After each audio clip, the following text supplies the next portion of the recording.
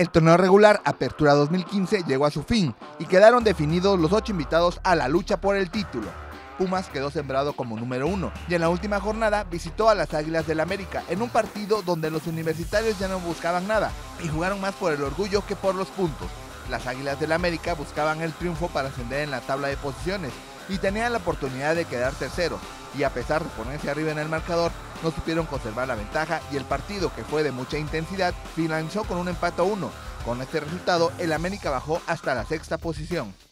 Los Diablos Rojos del Toluca recibieron a los Rayados del Monterrey, que ya llegaban eliminados a este partido. Sin embargo, no querían ser el escalón de los toluqueños, para que estos ascendieran a la segunda posición y lograran su boleto a la Copa Libertadores.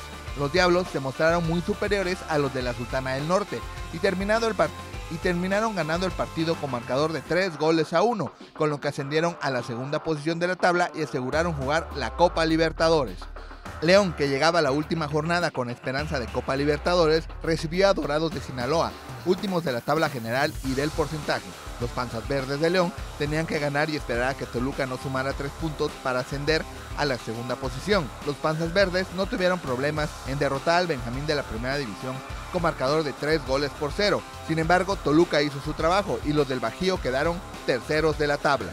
Jaguares de Chiapas ya estaba calificado a la fiesta grande y buscaba mejorar su posición en la tabla al recibir en el Víctor Manuel Reina a los Tuzos del Pachuca ya eliminados. Los Tuzos opusieron resistencia, sin embargo cayeron derrotados por los de la Selva Lacandona por tres tantos contra dos. Jaguares ascendió al cuarto lugar de la tabla y recibirá el partido de vuelta por los cuartos de final en su casa. Los Tigres de la Universidad Autónoma de Nuevo León ya tenían un boleto asegurado para la liguilla, sin embargo buscaban un triunfo que los colocara entre los cuatro primeros. Sin embargo se encontraron con un Cruz Azul ya eliminado y sin presión que jugó su mejor partido de todo el torneo y le sacó el empate sin goles a los dirigidos por el Tuca Ferretti. Con el punto ganado, Tigres se colocó en la quinta posición de la tabla.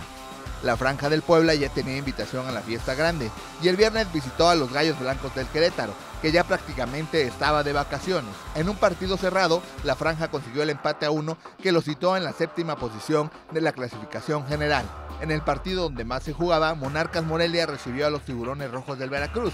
El equipo que consiguiera la victoria tomaba rumbo a la liguilla, el otro se despedía del torneo. Los tiburones se fueron al frente. Sin embargo, Monarcas logró empatar y a escasos minutos del final, Veracruz consiguió el 2 a 1 que los calificaba a la lucha por el título en la octava posición. En los demás resultados, Cholos de Tijuana derrotó dos goles a cero a los Zorros del Atlas, mientras que Santos Laguna derrotó a domicilio a las Chivas Rayadas de Guadalajara por 3 a 0. De tal forma, los cuartos de final de ida se jugarán de la siguiente manera. El miércoles por la noche, América recibe a León en el Azteca. Tigres en el Volcán contra Jaguares de Chiapas. Para el jueves, en Veracruz los tiburones se enfrentan a los Pumas y la Franja del Puebla le hará los honores en su remodelado estadio a los Diablos Rojos del Toluca. Informó para MBM Deportes Alfredo Canseco Brena.